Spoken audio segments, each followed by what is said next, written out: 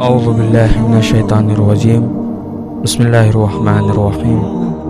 الحمد للہ رب العالمین، الصلاة والسلام علی سید الانبیاء والمرسلین، اما بعد۔ شہید قاسم سلیمانی کی پوری زندگی، جانثاری، مسلسل کوشش اور صبر و استقامت پر قائم تھی۔ عط اللہ سستانی آپ کی شہادت پر تعزیتی پیغام میں اس بات کی جانب اشارہ کرتے ہوئے فرماتے ہیں عظیم المرتبت سردار حاج قاسم سلیمانی کی شہادت کی خبر باعث افسوس ہے۔ عراق میں داعش سے جنگ کے دوران مرحوم کا انوکھا کردار اور اس سلسلے میں انہوں نے جو زحمتیں برداشت کی ہیں وہ ناقابل فراموش ہیں۔ قاسم سلیمانی کی زندگی کے اہم پہلو۔ عزاداروں کی خدمت۔ قاسم سلیمانی کے دل میں امام حسین علیہ السلام سے محبت کا موجہ مارتا ہوا سمندر تھا۔ آپ مجلس اعضاء میں مسلسل روتے تھے، عزاداروں کی خدمت باعث فخر سمجھتے تھے۔ سادگی سردار قاسم سلیمانی کی زندگی نہایت سادہ تھی۔ آپ فوج کے اعلیٰ کمانڈر ہونے کے باوجود بہت سادہ سے زندگی گزارتے تھے۔ والدین کا احترام۔ قاسم سلیمانی اپنے والدین کا بہت احترام کرتے تھے۔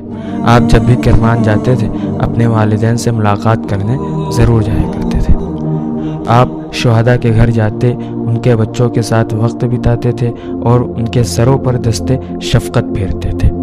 سلہ رحم۔ اپنے تمام مصروفیات کے باوجود قاسم سلیمانی سلہ رحم کو بہت اہمیت دیتے تھے۔ یہاں تک کہ آپ اپنے دور کے رشتہ دار سے بھی وقتاً فوقتاً ملنے جایا کرتے تھے۔ مشکلات پر صبر۔ چالیس سال سے زیادہ قاسم سلیمانی فوج میں تھے۔ اس راہ میں انہوں نے بہت سی مشکلات کا سامنا کیا۔ گھر والوں کی دوری، ایران، عراق کی جنگ میں ہاتھ کا مجروح ہو جانا، ان سب کے باوجود آپ کے جذبے میں کبھی کوئی کمی نہیں آئی۔ شجاعت، اپنی عمر کا آدھے سے زیادہ حصہ میدان جنگ میں گزار دینا، کوئی معمولی بات نہیں ہے۔ اس کے علاوہ بہت شجاعت اور ہمت کی ضرورت ہے۔ آپ کی شجاعت کے لیے یہی کافی ہے کہ آپ نے عراق اور شام کے بدن سے داعش جیسے ناسور کو اکھاڑ پھینکا۔ توازو اور انکساری۔ مومن کی ایک اہم علامت توازو انکساری ہے۔ مومن کبھی غرور نہیں کرتا چاہے اسے کتنا ہی بڑا عہدہ دے دیا جائے۔ قاسم سلیمانی بھی اپنی زندگی میں بہت متوازے تھے۔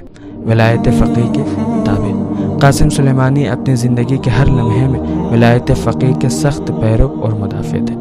بے شک قاسم سلیمانی عظیم ہستی تھے اور عالم اسلام ان کی خدمت کو فراموش نہیں کر سکتا۔